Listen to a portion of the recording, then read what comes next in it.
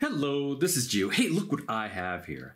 I have an 8-track tape player. This one's a Realistic uh, TR-882 cartridge tape recorder. So it not only plays the 8-track tapes, but it also records. And if you're not familiar with what 8-track tapes are, they were very popular kind of pre-cassette tape uh, and during cassette tapes actually. Um, in probably the mid 60s to all the way to the 80s they were kind of popular.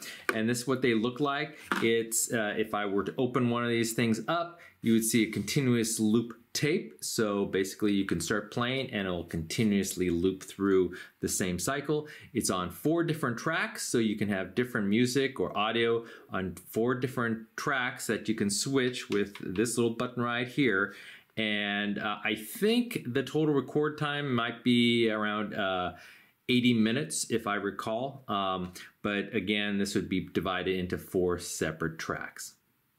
So why am I showing this to you today? Well, this particular one doesn't quite work. Uh, I do have a plug in. You got the uh, tape right here and I stick it in and it'll just start playing when I stick it in. I stick it in like that. You can see the lights turn on, etc but absolutely no sound. I, I do have it connected to speakers and then I hit the, uh, let's see, the track switcher here and it's not even switching the uh, tracks. You can hear the motor running, uh, so there is some kind of issue preventing it from playing. So we're gonna open this thing up today and see if we can fix this thing.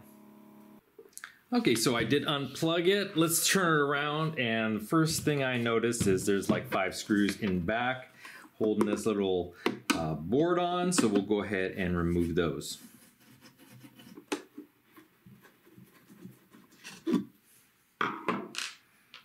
And this should just pop off. There we go. Okay, this could slip out it looks like. Just like that, put that aside. And it's a little dirty inside there, but you can kind of see what's going on there. Um, let's see, I think there's some also, I think this entire bottom or this whole mechanism will come off. It does have some screws on the bottom, so we'll go ahead and unscrew those and see if we can get this thing to slip out.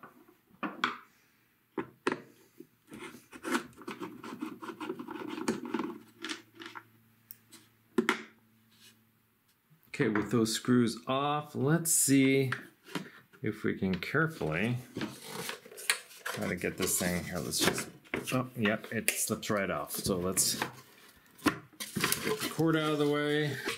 And there you can see, you can see the little case here. Put this aside. And right off the bat, you can see a problem. You could clearly see that the belt that uh, goes from the motor to the flywheel looks like right here uh, is totally degraded. It's actually staining my fingers right there. So that is definitely one problem there. And then with it plugged in, I'm just gonna test it out and you can see the issue here. Let's say stick that in. The motor is operating and that's what we heard, but the flywheel that uh, runs the tape is not, of course, running because it has a bad belt.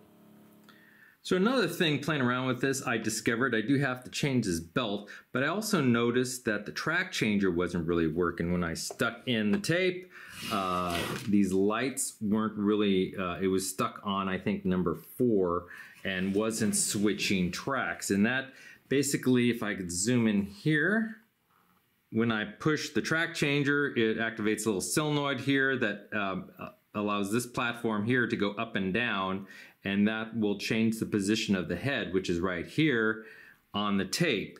And it wasn't really doing that initially. It was stuck but after playing around with it it looked like I got it working. Uh, I'll push the button and you can see this little solenoid here. And this platform is now moving. Uh, it wasn't moving at all before but now it seems to be moving. So at a minimum, probably needs some lubrication. Um, but it is working now just by, uh, it's probably just age uh, was preventing this from moving. But it seems to be switching tracks now. So uh, just a little lubrication should work on that. Okay, so I did unfortunately find one last issue that may make this unit unrepairable. And basically I was gonna take off the flywheel or capstan here so I can uh, lubricate uh, the, the track switch mechanism. I turn the unit over and the fly flywheel fell off. And I'll just pull it out to show you what's going on. It's not supposed to just come out like that. There's a little pin that's supposed to hold it in place on the bottom. And you can see right here, the mount right here is completely broken off. This was not supposed to come out with the capstan wheel. And you can see right here, this is where it sheared off. I'll go ahead and take this thing out to show you the whole thing. Okay, so here's the base that I took out. It's actually in terrible condition. Uh, you can see the little uh, screw hole is actually just fell off. So this is really degrading. And so this is what it looked like. And you can see it's really cracked up. So it's in really bad shape. And so this is what it looks like as a complete part. And so you can kind of see it in this direction. Here's the bottom of it right here. And you know, um, I hate to end this video without a complete repair, but I went online to try to see if I can find a replacement part, probably not new, but maybe an old used one, and I really could not find this capstan mount. I did find a couple of others, but they weren't this shape, and I really don't think they would work.